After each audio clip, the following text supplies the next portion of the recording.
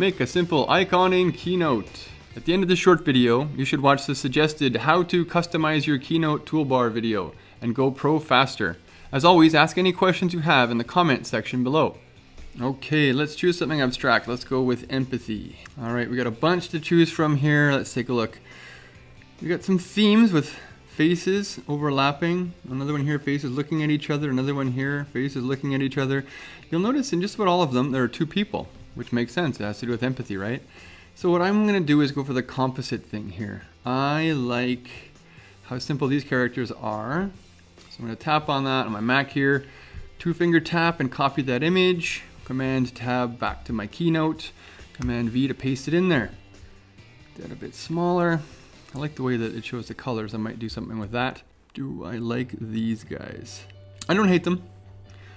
Let's copy the image, Command tab back to our keynote, paste it in there, make it a bit smaller. I like their shoulders. I'm thinking I might use their body types. Command tab. What else? I think I actually quite like this idea of the umbrella too. So I'm to open it up. Opening it up first and then copying it gives you a bigger image, better resolution. I don't know. Just takes a second, so why not? So apparently I like this guy's idea, but I don't want to be too perfectly the same, right? So we're gonna go for a bit of a composite, double tap that to make it a little smaller, easier to deal with as I'm moving things around here. Since these guys have basically the same body type, and since I'm gonna use an umbrella, I think I might get rid of this. Um, start off with the body, I suppose. Get it into place here. I'm gonna do a completely different head though, so it's really not much of an inspiration, but it's something. A place to start tap, draw with pen, sorry, again, shape, draw with pen, round these things off. I'm to make this simpler, I think, by just going with the old South Park like circle paw. Only tap where you're to want to have a bend, okay? Now I'm actually going off of the screen here, so that doesn't matter. Now it's closed, so now I can start double tapping to make things rounded and start fixing them up a little bit. Drag that in a little bit, make it straighter. More of a circle if I do this. How big do I want the hands? Maybe I can worry about that later. I'm gonna hit enter. Now the shape is done. Definitely don't use the same color used by this other character, so gonna go to color fill. Well, since this is just a tutorial, why don't we try just going with the reds and yellows, reds and blues of this couple over here. Now, I think I want that to be, I can click and drag that out of the way. A little more fully rounded like a shoulder without making him look like a great big muscle man. Straighten that up a little bit as well. I think we're gonna need to have a darker line. So over here, style, on the line here. Four, we can always make that smaller later. Okay, so now we've got the first guy. How about the umbrella? We don't really need this, so why don't we just get rid of it entirely and uh, start working on making it more original now. Make this a little smaller here, keep it circular. Now, we all know what an umbrella looks like. Draw with pen. I can make it bigger and smaller. I'm gonna do that right here, right now.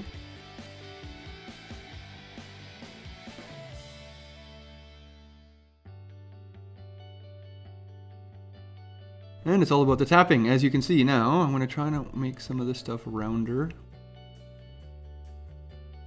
If you don't need that, I'm going to double tap it and delete it and see if that figures. Yeah, that sorts this out a bit. I'm going to just drag this up to make that kind of rounder.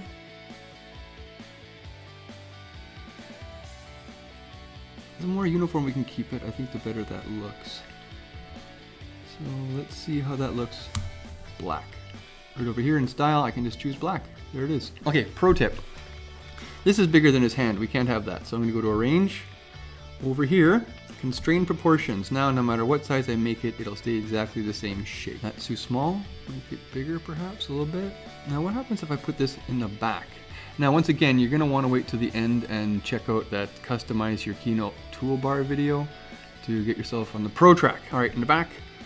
All right, I think that looks all right for what we're after, a simple icon. Shape, grab this one, Might even make this a little bit bigger because we're going for a cartoony thing here. So we can make it a little different proportionality. Now, put that here. You can even use these little arrows on the keyboard to make it go back. Put that in the back. Now simply, I'm just gonna go like so. Good. Oop, too thin. There we go, nice. Except I think a style of an umbrella pole is more like a silver. Um, we can even do an advanced gradient fill. Let's take a look. It's a bit of a pro tip here. I'm going off reservation, but go for a gray here, go for a white here. And I can go over here, go to 90 degrees. Oops, sorry, 180 degrees. Just changing the, oops, 180 degrees. Now it goes sideways like that, and I can make it look darker or lighter as I please. In fact, I might even make this one a bit darker still so it really stands out. It looks more like a metal. Okay, now really simply back to shape, back to draw with pen. I'm gonna make this super easy. Tap,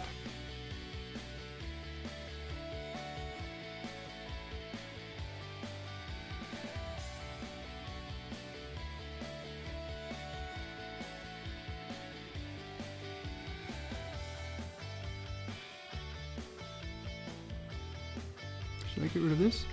Let's double tap and take a look. Yep, I think we should. This one too then. Double, not a double tap, but a two finger tap, delete it. Boom, there it is. Let's make that black. Let us go to Format, Style, Arrange, and constrain those proportions. Now, make it a little bigger. We have ourselves an umbrella. Wonderful. Empathy the word, we're gonna get rid of that. Okay, now I also remember, I'm gonna get a line here and it just pops a line in for me.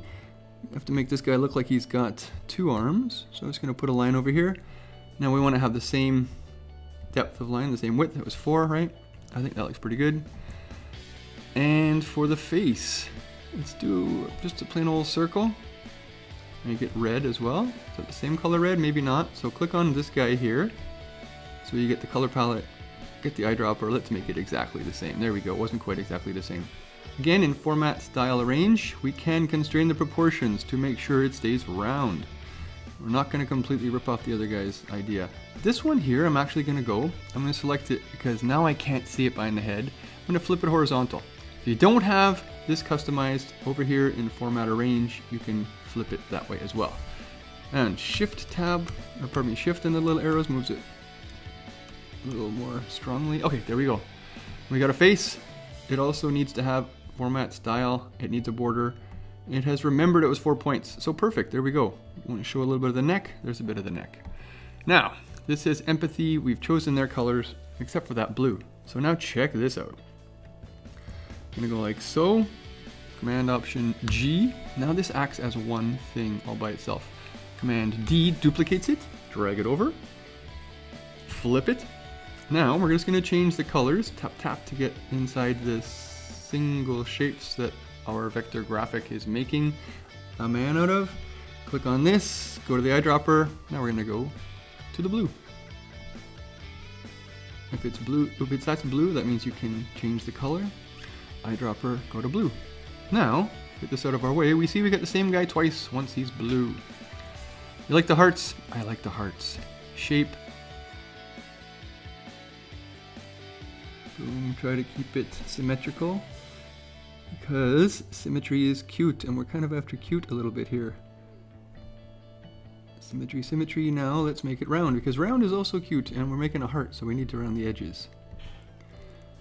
I can zoom it in, make a little bit of a pointy heart, I kind of like that, just a personal thing, you don't have to do that if you don't want to. This over here. Okay, now, we're not going to want to have, let's go for color fill once again, The eyedropper, make it blue. We're not going to want a line on this because it's going inside. We are going to want to do format, style, arrange, and we're going to want to constrain those proportions because it is a heart. Command D duplicates it, back into format style, change the color, eyedropper, we want it red this time. What do you think? Does this say empathy to you? By the way, these grids are amazing. These lines show you exactly how things are lining up. So there we go. It doesn't say empathy. That's up to you. I leave that completely up to you. How do we feel? Is it talking about empathy to you? I think it works. If not, you can change it however you like. I went back actually and thought this might be more like empathy. Another way we could go, could make it more obvious by putting the word right in, or we could go black and white with or without the words. Please, uh, if you have any questions, put them in the comments below. Definitely subscribe, and I would love to see what you're making. The world is a The band. remix. Santa Secret destroyer.